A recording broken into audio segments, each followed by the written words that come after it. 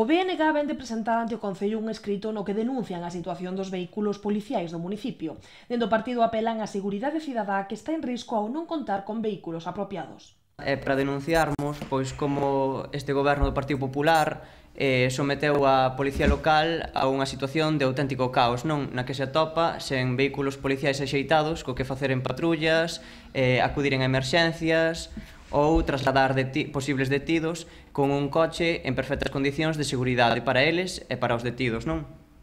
E a nós chegarannos xa eh, pois eh, testemunhos da, da policía local dixérannos que que os vehículos estaban en malas condicións, pero nós non pensábamos que chegara a ser ata tal punto de que eh, se quedasen sen vehículos axeitados co que faceron o seu propio traballo, non?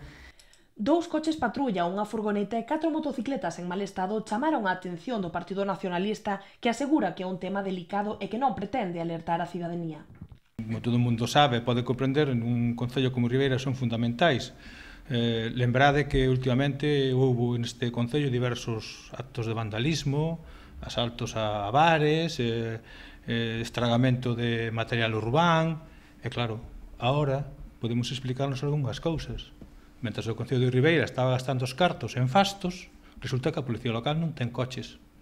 Este problema localizouse antes do verán, pero non foi ata hoxe cando o partido decidiu facer algo.